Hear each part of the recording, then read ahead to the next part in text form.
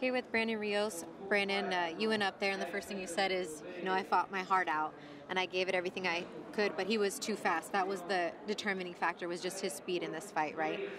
Yeah, man, he was very fast, uh, faster than I expected. Uh, he came in, you know, I came in top shape. He came in top shape. Was, I think what, what killed me was his speedness. I didn't think he was that fast. Uh, in the first round, it looked like a slip. They ruled it a slip, but when you kind of look back at the replay, it looked like a knockdown. What did you see there? Did you feel anything there, or did you think you just slipped? Uh, it was a slip. Uh, I didn't feel nothing. I was never hurt in the fight. It was just a slip. Uh, uh I don't know if I slipped on the, the, in the middle ring or something, but it was a slip. Uh, I never was hurt.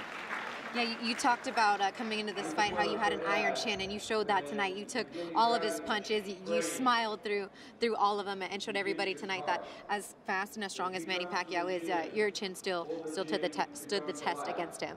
You know what? Honestly, uh, I didn't feel his power as much.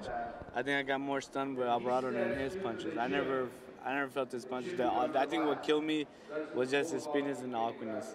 He's very awkward and he throw punches on different angles. I think that's what killed me. But hey, uh, I tried my heart out. Like I said, I came in top shape. I tried to follow the game plan, and it just fucked me. usually, we're used to seeing you throw, let your hands go, and throw more punches and be the aggressor. But it, at what point did you feel like, oh crap, because you kind of kept your hands up and you weren't throwing as much as we're used to seeing you throw? It's just like every time I throw, I, I felt like I was gonna get countered. But like I said, the the hand that was it. But uh, Packer did a great job, man. I, I, I tip my hat off to Packer on his team. But I tell one thing though, Freddie Roach, I ain't nobody journeyman fighter. Uh, he was not gonna stop me four rounds, six rounds. I was coming to fight. I tried to win. I bring my heart out, and he never hurt me. And Manny knows that in the interview after the fight, he said he was so tough. I hit him with everything that he had, and he just would not go down. Uh, he gave you a lot of credit for being able to take everything that he gave you and continue to stay on your feet all 12 rounds. Yeah, you know, like I said, yeah. he did grind some good shots, but I never, like I said, I never got dazed. It was just, uh, I think tonight the factor was the speed. Eh, oh man, it just hurts. It hurts deep down inside because I trained.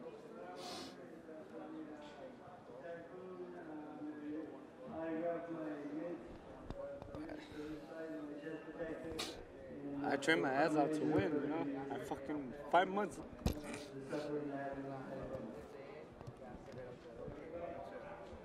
Obviously, vis- visibly upset, but a really stand-up guy to give us the interview, Brandon Rios. You want to finish? Yeah. Okay. Like I said, it hurts. It hurts me bad because I, I like I work my ass off so hard, five months in the gym, training, training, training, and I think this was the best camp ever. It happens. It goes the other ways, but fuck it. I'll bounce back. You you learn from your mistakes, and I'll come stronger and you didn't lose to a bum. You didn't lose to anybody. You lost to Manny Pacquiao. I mean, and you held your own. You stayed on your feet. It's it, he's still. You think he's still one of the pound for pound greats with with what you saw tonight? Oh yeah, yeah. You know, so, he's still up there. You know. Yeah. Uh, he still got it. I think it's just, just the speed, man. He's very fast, very awkward. I think that's what did it. But other than that, I don't know, man. It's just it hurts. It hurts. It hurts really bad.